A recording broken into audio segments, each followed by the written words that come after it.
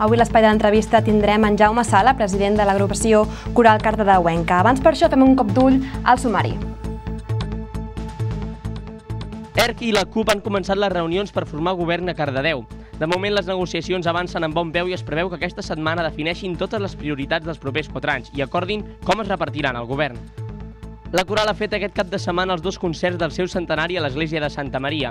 Aquests dos concerts posen el punt i final a l'agenda d'activitats per commemorar aquests 100 anys d'història.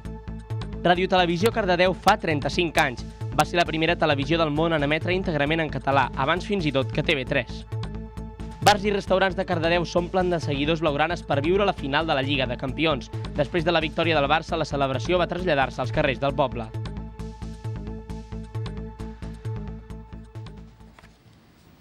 Les reunions entre ERC i la CUP per formar govern a Cardedeu donen els seus fruits i es preveu una entesa entre les dues formacions.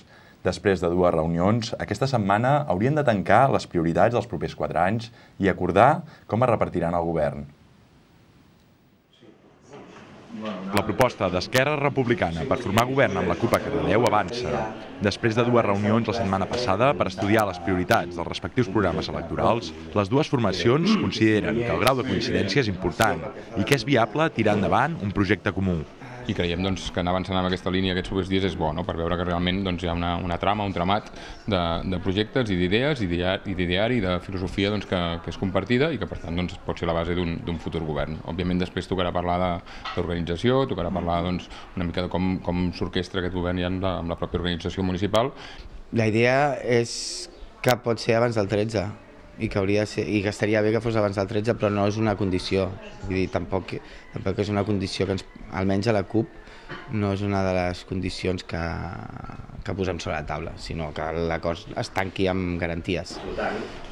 Desenvolupar un pla local d'habitatge, augmentar els recursos de les polítiques socials o prioritzar la tèxtil race com a espai de la vida associativa de Cardedeu són algunes de les propostes que entrarien dins d'aquest pacte de govern. De fet, en un exercici de transparència, les dues formacions pengen periòdicament a internet les actes d'aquestes reunions.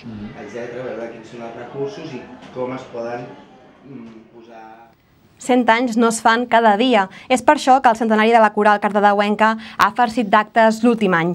Després de recitals, exposicions i passejades musicals, aquest cap de setmana ha sigut el torn del concert.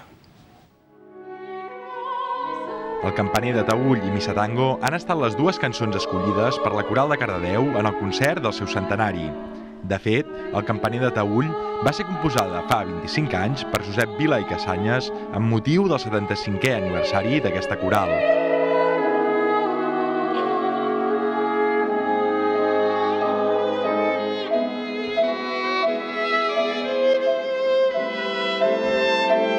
Les veus del cor, dirigit per Emilio de la Linde i Elisabet Pons, de soprano, van omplir l'església de Santa Maria les nits de divendres i dissabte.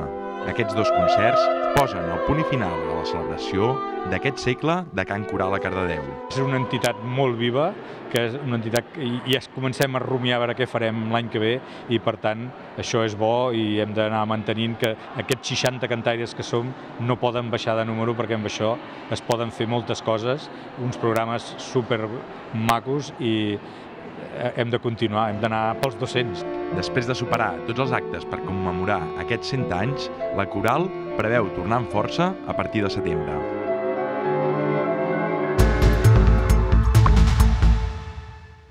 Tal com us comentàvem, avui tenim amb nosaltres a Jaume Sala, president de l'agrupació Coral Cardedeuenca.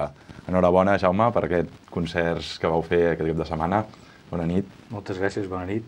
Bueno, I enhorabona a vosaltres també, perquè heu fet 35 anys ahir també. Per tant, també ja està bé, és una bona, és una bona fita. Moltes gràcies. Ens expliques una miqueta els concerts d'aquest cap de setmana, com van anar? Home, la veritat és que estem super orgullosos de com van anar.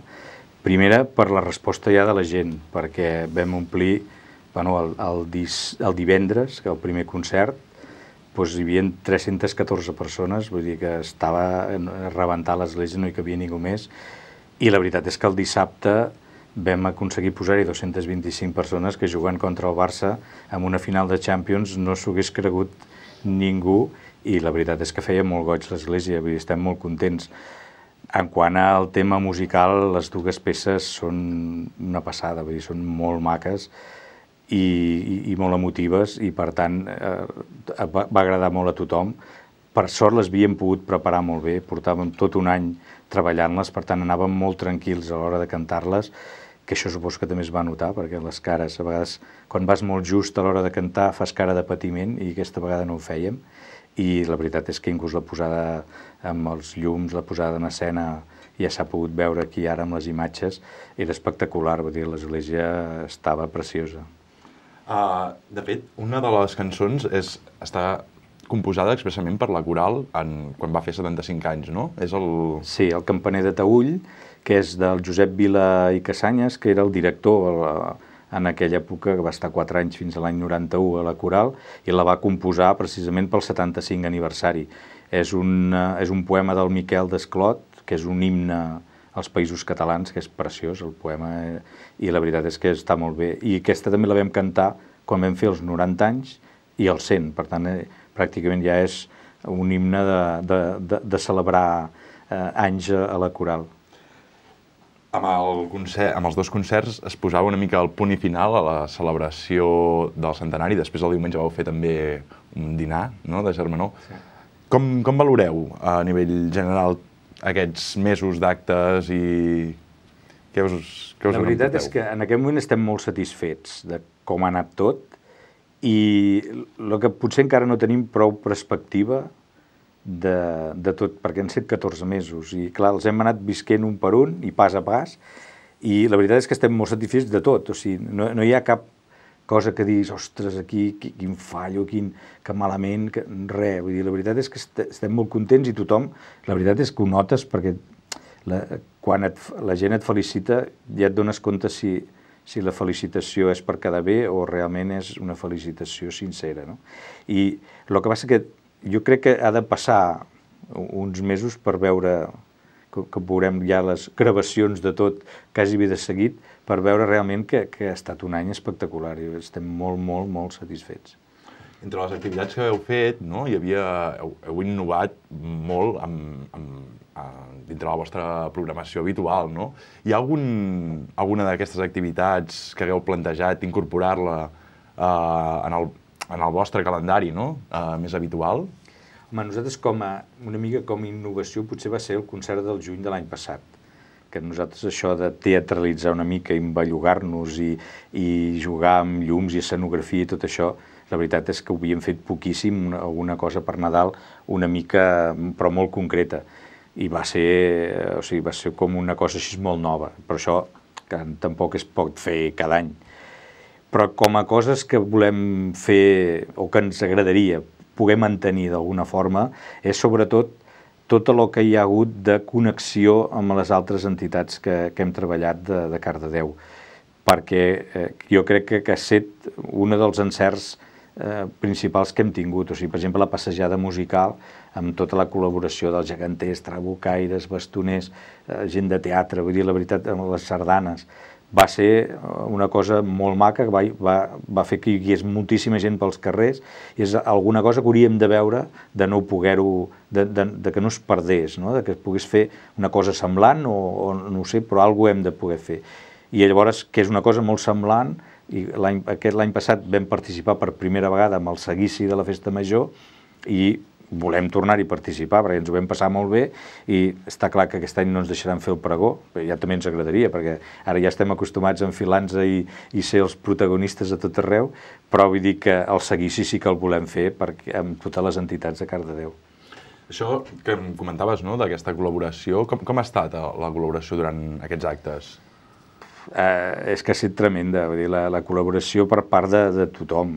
És que anaves a veure algú per veure si escolta, em podríeu calibrar perquè volem fer no sé què, i el que sorties era més feina, perquè la gent s'embalava i, i, pues, i, i per què no fem? I, I la veritat és que ha estat espectacular. Vull dir, coses que havien de ser cosetes s'han convertit en coses magnífiques que hem pogut gaudir tothom. Vull dir, eh, la veritat és que és, eh, hem volgut agrair a tothom qui ens ha ajudat perquè és que ha estat espectacular. Ara suposo una mica de calma, de reposar, no? Sí. ja, ja, ja teniu un, una data, que és la, la festa major, el seguici. A partir d'aquí, què, què ens, bueno, què ens oferirà la coral? Abans del seguici encara algunes cosetes hem de fer perquè hem de participar el 23 de juny amb l'arribada de la Flama del Canigó, que ja ens hi hem compromès a participar i potser no serà tota la coral, però sí que hi haurà bastanta gent de la coral. Hi ha la Fira de Música que aquest any també hi participarem, d'una manera o altra i llavors, bueno, el seguici de la, de, la, de la festa major segur que hi serem i suposo que l'11 de setembre ens tornaran a convidar també a cantar el Pompeu Fabra i després ja cap a Nadal, a veure què, a què fem. Però no, enca, encara i ara eh, deixem passar l'estiu, que ens, ens relaxem una mica i llavors eh, eh, segur que farem coses i, i guapes. Doncs molts ànims, que en pugueu complir 100 més i deixem aquí l'entrevista. Moltes gràcies per haver vingut. Moltes gràcies a vosaltres i nosaltres d'entrada anirem pel 101 i als, als 200 ja que, que hi faci un altre. Gràcies. Continuem amb la plana política perquè, i us parlem de la Fira d'Art del Centre, que com cada any es celebra a principis de juny. La fira està organitzada per l'Associació de Veïns del Centre de la Vila i Ara us en passem al vídeo.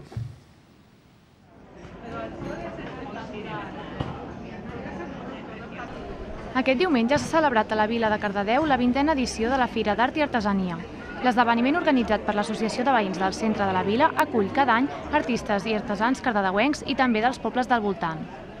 Els assistents han pogut veure al llarg de tot el dia diverses paradetes a les places de Sant Corneli, Flors de Maig i de l'Església. Penjolls, braçalets, barrets, pintures fetes a partir de tècniques diferents, així com també productes gastronòmics artesanals, com els típics borregos de Cardedeu, han estat alguns dels protagonistes de la jornada. Però la fira també ha estat una oportunitat de promocionar-se per a algunes entitats socials. És el cas de l'Associació Catalana d'Amics del Poble Saharaui, una associació del Vallès Oriental que impulsa el projecte Vacances en Pau, en què promouen l'acollida de nens saharauis d'entre 8 i 12 anys durant les vacances d'estiu. Las familias no necesitan gaire requisits per poder colaborar. Tener ilusión, querer y luego pues cada familia se lo monta a la seva manera. Tampoco hay que tener tantos recursos para acoger un niño. Ellos lo necesitan mucho porque allí en el, en el Sáhara están a 50 y 60 grados y son niños muy pequeños y luego hay que ponerles las vacunas.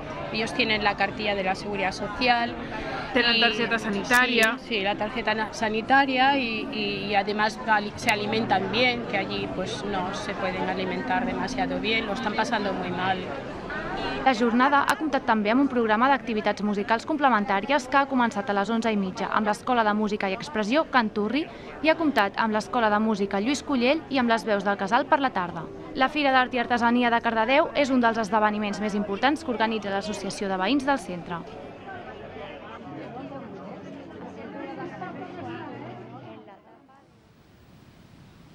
Si escoltem atentament just abans d'anar a dormir, segurament sentirem diferents cants d'ocells. Sentir-los i aprendre a reconèixer-los va ser l'objectiu de la caminada nocturna que va organitzar el Museu Arxiu Tomàs Balvei.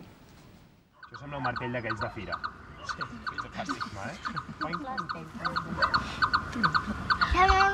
Així sona una de les moltes espècies d'ocells que es poden trobar als vols de Cardedeu. L'ornitòleg Pau Garcia, conjuntament amb el Museu de Cardedeu, ha organitzat una caminata nocturna per poder observar i sentir els ocells de la nostra vila. El punt de sortida va ser el Museu de Cardedeu i més tard es van dirigir al bosc de Can Montés el passat divendres.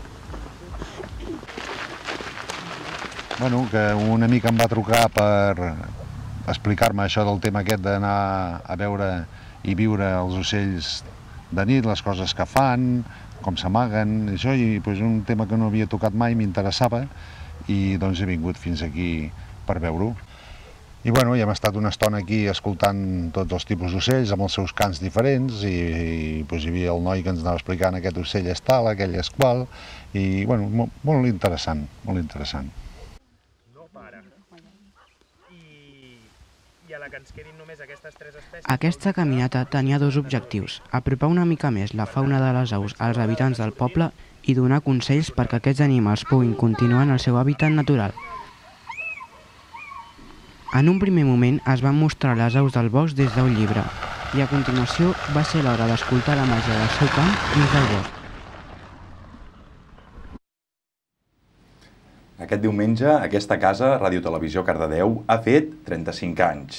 Per commemorar-ho, aquesta vegada ens hem fixat en el fet que va ser la primera televisió a emetre íntegrament en català. Fa més de tres dècades, doncs, que el català és la llengua vehiculada a través d'aquest mitjà de comunicació i va ser-ho en els primers anys gràcies a l'emissora de Cardedeu i no de la televisió autonòmica.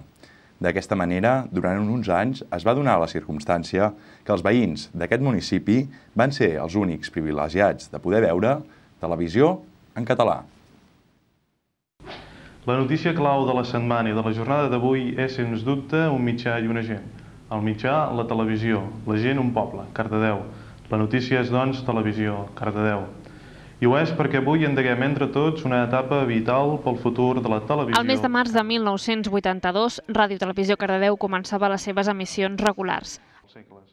Cal, doncs, treballar perquè la nostra televisió no sigui un dia de primavera com el d'avui, amb un cel ennuvolat i amb un xim-xim molt empipador, sinó que sigui, sinó que arribi a ser tan sols, sinó que arribi a ser no tan sols un dia de primavera, sinó una contínua primavera d'un sol ben punyent, ara sí pels segles dels segles. Havien hagut de passar dos anys per superar entrebancs, sobretot legislatius i econòmics, per engegar la primera televisió local de Catalunya i de l'Estat.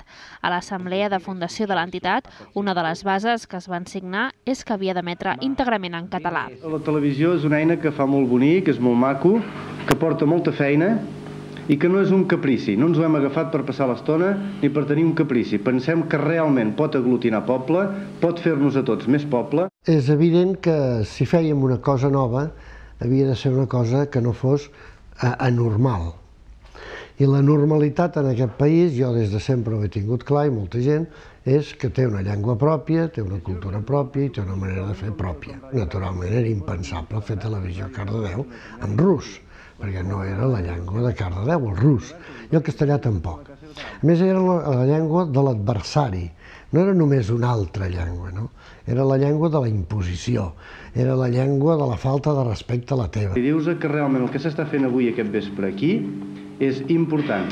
No solament és important, sinó que és absolutament nou i pot obrir, i pot ser, i pot quedar com una data important en la història de, les, de la comunicació al nostre país. Per tant, era una, una activitat més dintre la cosa troncal que era país, país, país, gent, gent, gent, normalitat, normalitat, normalitat. Això era a principis dels 80 i feia molt poc temps que havien començat a emetre en català ràdios locals. A principis dels anys 80 el panorama mediàtic a Catalunya, des del punt de vista de la llengua, era absolutament desolador hem de tenir en compte que no existia TV3, no existia Catalunya Ràdio, eren tot just un projecte polític que no se sabia si es duria, si es duria a terme, i en televisió, televi, només televisió espanyola feia unes poques hores a, a la setmana en, en català, i en ràdio el mateix. Ràdio 4 havia començat feia, feia uns pocs anys a fer algunes, algunes hores en, en català. Per tant, era un panorama on el català era ah, clarament residual, és a dir, era marginal, era un 2% o un 3% del contingut que podies veure o podies consumir a, a Catalunya. En aquella assemblea de fundació de Ràdio i Televisió Cardedeu hi van ser el pioner de la ràdio en català, Salvador Escamilla, el crític de televisió del diari Avui, Josep de Sumbila, i el lingüista Sebastià Serrano. Tractem de que l'ensenyament en català hi sigui cada vegada més, però després, quan arriba a Casona, s'asseu i aleshores li xuclen l'enteniment des de, des de l'altra televisió no aquesta. No m'esperava que l'any 80 la dita televisió estatal estés en les condicions que està encara actualment, continuant sent una terrible eina de, de castellanització d'aquest país. Avui, a casa nostra, diríem que es pot viure perfectament en castellà i, en canvi, no es pot viure en català. Nosaltres hem de lograr que casa nostra es pugui viure en català.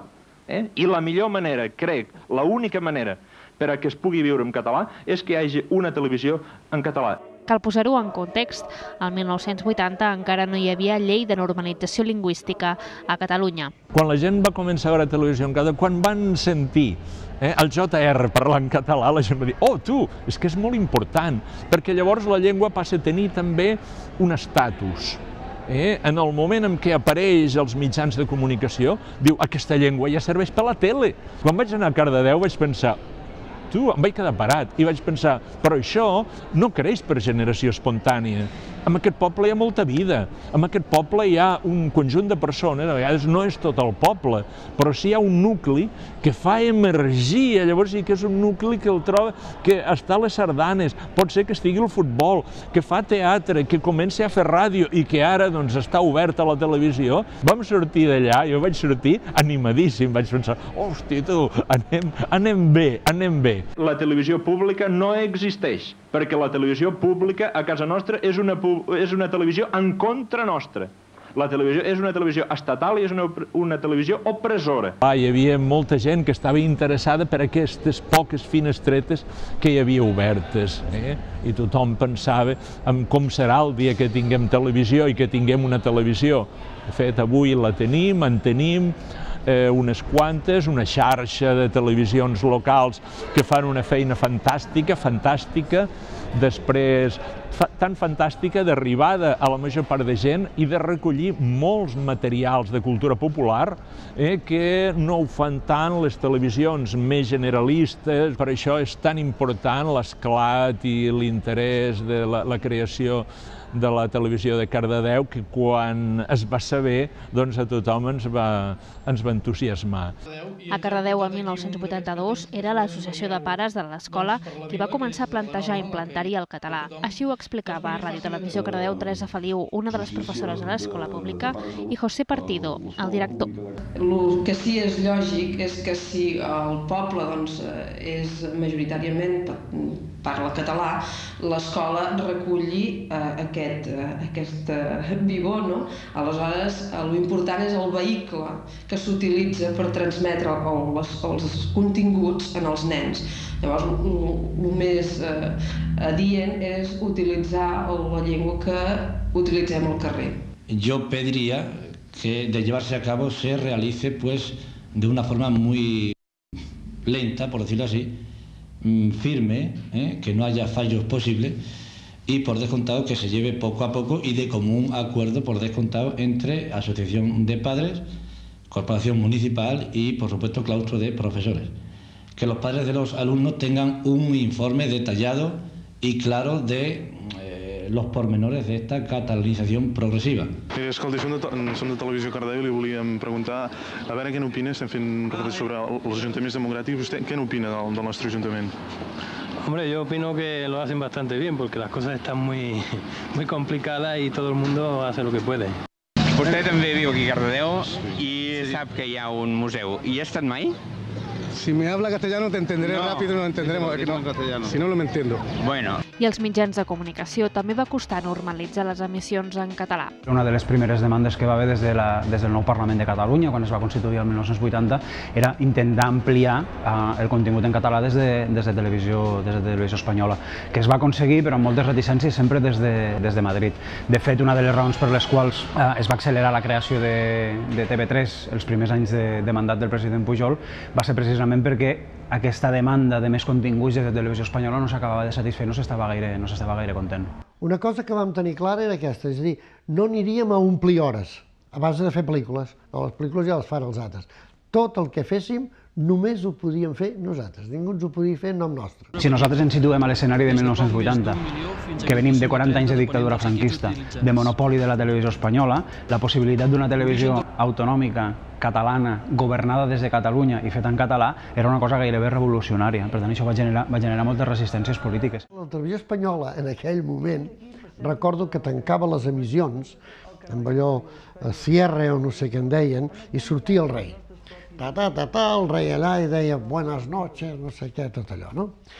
I vam dir, bueno, nosaltres també tenim un rei a la televisió Cardeu, que és el soci.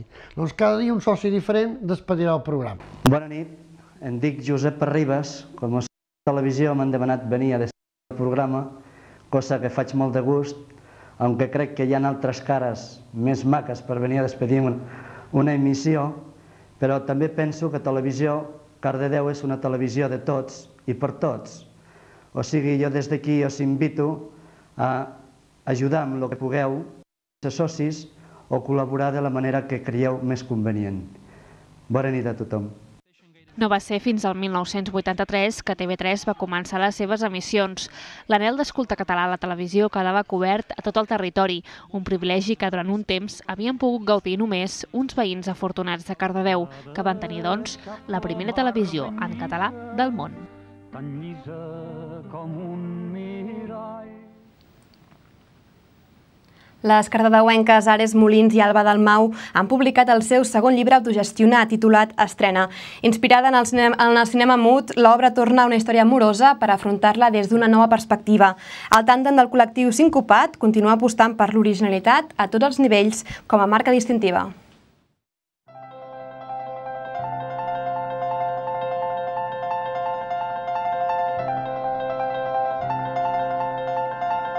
Història de desenganys amorosos, molt senzilla i que tothom coneix, una mica arguments universals i personatges universals, però parteix també del cinema mut. Val? I en aquest cas, amb la forma del llibre, que no, és una acordió de gairebé 7 metres, el que, vam, el que vam intentar és també parlar o fer referència en aquest cinema mut.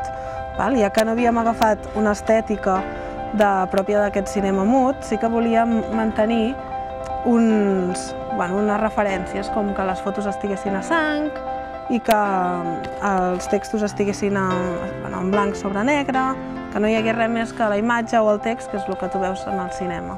I en aquest cas també hi ha un, també hi ha un CD perquè hi ha nou peces musicals composades per el pianista de, de jazz de Granollers, l'Albert Marquès, que és amic nostre, i li vam proposar de col·laborar amb nosaltres en aquest projecte perquè si en el cinema mut teníem clar que hi havia text en pantalla no? i també hi havia fotogrames, doncs faltava la música d'aquest pianista, d'aquesta figura d'aquell senyor o aquella senyora que acompanyava les pel·lícules amb el piano. Té una cosa que és el que crec que fem tots els artistes, escriptors, fotògrafs, i és explicar el mateix que s'ha explicat tota la vida, uh, però d'una manera original. I el repte en qualsevol obra d'art jo crec que és això, poder donar un punt de vista nou d'una cosa que, que ja existeix. La història d'estrena de, és que és tan senzilla com noi coneix a noia, uh, s'enamoren, entra una tercera persona que posa les coses molt complicades en aquesta relació, hi ha un dilema aquí, la gent ha de decidir i al final el desenllaç, però és la història de totes les pel·lícules de, de Hollywood i, i pre-Hollywood. Sempre, sempre s'explica aquesta història quan es tracta d'història amorosa, no? Teníem aquest repte i com ho aconseguim l'Ares i jo crec que és explicant aquesta mateixa història però sense explicar-la, explicant una mica tot allò que hi ha abans i tot allò que hi ha després.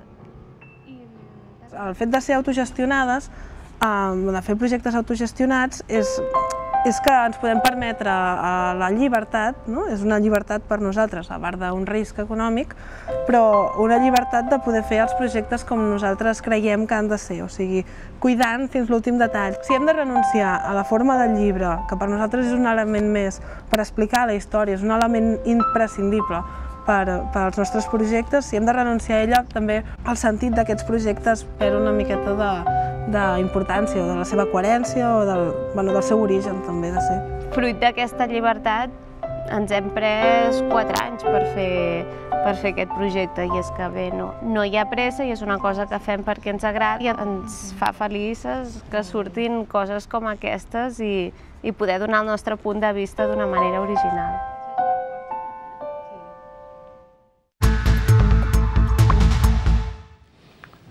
Els aficionats blaugranes van viure dissabte una fita històrica, quan el Barça va aixecar la cinquena Copa d'Europa de la seva història i es va convertir en el primer equip en aconseguir dos triplets. A Cardedeu, els bars i els restaurants que matien el partit van omplir-se de culers, que van acabar a la nit festejant la victòria pels carrers del poble.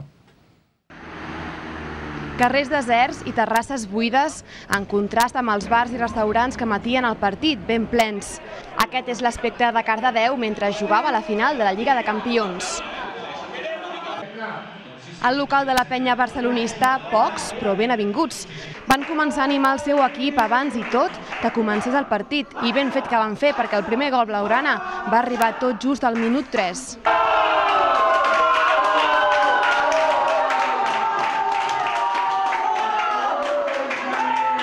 Després, tot van ser nervis que cadascú portava com podia. Els seguidors blaugranes van patir, però també van tenir dos moments més d'alegria. Amb el segon gol i amb el tercer, ja en temps de descompte.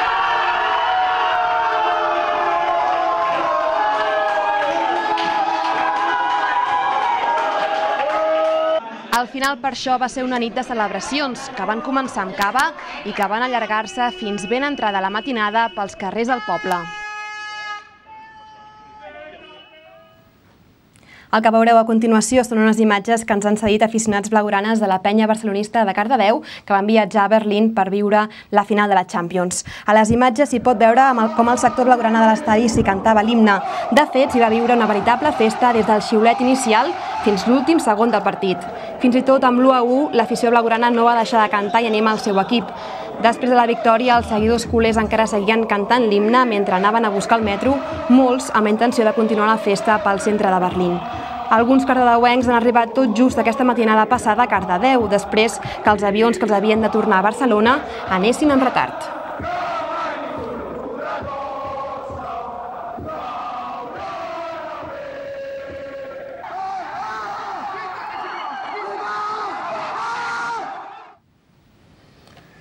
Encarem ja la recta d'aquest Cardeu informatiu. Abans, però, fem un repàs a les notícies més destacades d'aquest dilluns 8 de juny.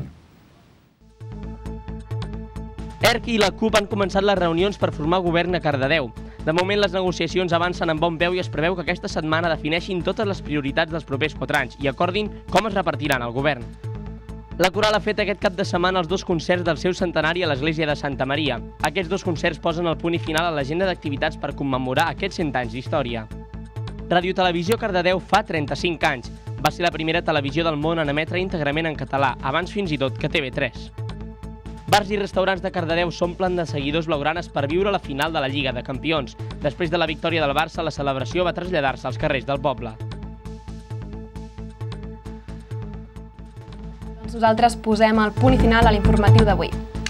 Us deixem amb un nou capítol del Batalletes, en, en aquest cas dedicat als 10 anys de la televisió de Cardedeu, quan va complir 10 anys. Nosaltres, de fet, ara eh, continuem aquí i ens menjarem el pastís que ens ha fet el col·laborador Oriol Franco per celebrar precisament aquests 35 anys de televisió Cardedeu. Moltes gràcies i bona nit. Fins aviat.